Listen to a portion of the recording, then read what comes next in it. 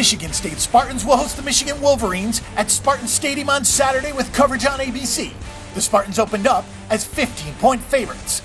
Utter violent domination is the memory of Michigan State's 29 6 strangulation of Michigan last year. The Spartans threw the soft Wolverines around like ragdolls with merciless brutality, and there is little evidence as why that will not again be the case in 2014. Michigan head coach Brady Hoke desperately needs a win over little brother Sparty if he's to cool the heat off his seat. Michigan State is 6 and 1 straight up, 4 and 3 against the spread and 6 and 1 over the total after last week's 56 to 17 payout at Indiana. The Spartans rank 9th in the nation for total defense and 3rd for scoring offense, making them the favorite to repeat as Big 10 champions.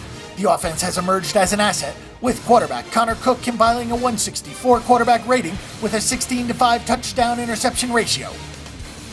Michigan is 3 and 4 straight up, 3 and 4 against the spread, and 3 and 4 under the total. The Wolverines are coming off a bye week that followed an 18 13 home payout over Penn State. Michigan fans are in total revolt, demanding the firing of athletic director Dave Brandon for corporatizing their tradition laden program, with Hoke under fire for having worse records in each one of his four seasons as head coach. The offense, or lack of, has been a debacle and ranks 113th overall in the nation, and that was supposed to be the foundation of Hoke's program.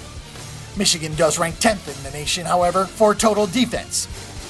Michigan has paid out in just three of their last eight away games, with five out of their last six away games going under the total, Michigan State has paid out in 7 of their last 10 home games, with 13 of their last 20 home games going under the total.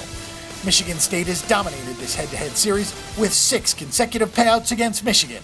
The Spartans and Wolverines have gone under the total in the last five meetings. Michigan State minus the points and under on the game total is our call.